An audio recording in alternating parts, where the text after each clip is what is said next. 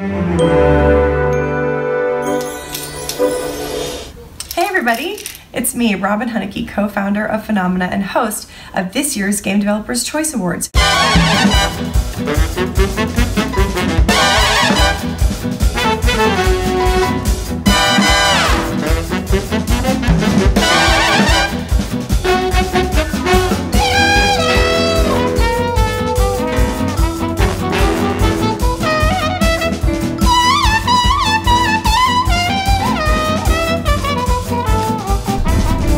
Hey, I'm Don from Ninja Theory and I'm here with Melina who plays Senua in Hellblade Senua's Sacrifice. We're absolutely delighted to have been nominated for three awards at the Game Developer Choice Awards in the categories of Best Audio, Best Narrative and Best Technology. You must accept that yours might be too. Mel! Enough with the Senua stuff, it's finished.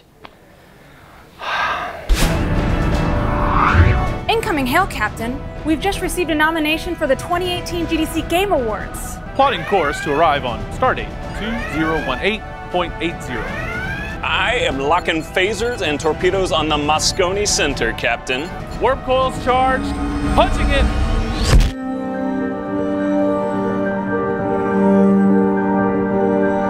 So I'm being asked to make a kind of video for GDC, It's a category Only Good Game. I mean, the only good game. I really don't recommend that you watch the award show. Award shows are boring for 99.999% of even the people who want to watch them. I'm Andrew Scharf with Bethesda Game Studios, and we are incredibly honored that Skyrim VR has been nominated for Best VR Game at this year's Game Developers Choice Awards. Be sure to check out the awards live at GDC either in person or online on March 21st. We'll see you there. Hey there, this is uh, Jens Matthies. I'm the creative director at Machine Games. Makers of uh, Wolfenstein 2, The New Colossus. I encourage you all to check out GDC either in person or uh, streaming online, and uh, we'll see you there. Hi everyone, I'm Brendan Greene, or Player Unknown, and I'm creative director on Player Unknown's Battlegrounds.